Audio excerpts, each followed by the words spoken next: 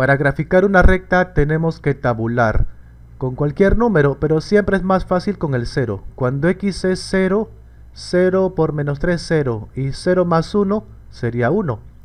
Ahora al revés, cuando el y es el 0, si y es el 0, tenemos que hallar ahora x que va a salir de acá.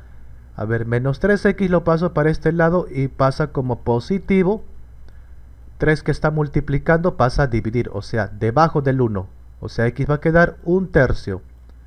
Ahora acá, cuando x es 0, estamos en el eje y, y en ese eje y buscamos 1. O sea, acá 1 y está por acá arriba porque es positivo. Ahora por acá similar.